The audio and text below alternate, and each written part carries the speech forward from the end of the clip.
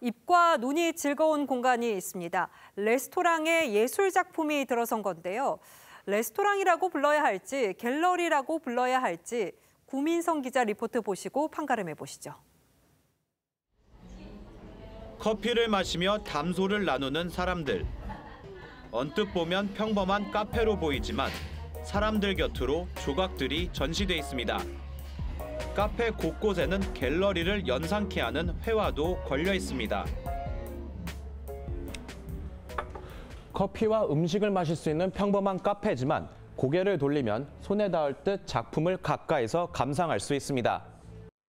요즘은 다 작품 옆에서 찍으시고 그리고 실제로도 작품을 보러 오시는 손님도 계시고 작품이 좋으니까 오래 매장에 계시고 또 다른 전시가 열리고 있는 레스토랑. 이탈리안 음식을 판매하는 맛집이지만 유망주 화가의 그림을 전시 판매하는 갤러리도 겸하고 있습니다.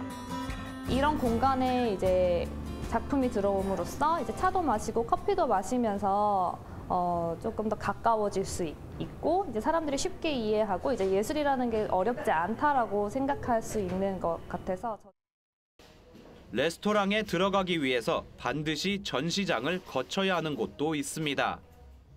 작가들은 작품을 관객들에게 더 널리 알릴 수 있고 외식업계는 대관료 등의 수익을 창출할 수 있어 만족도가 높습니다.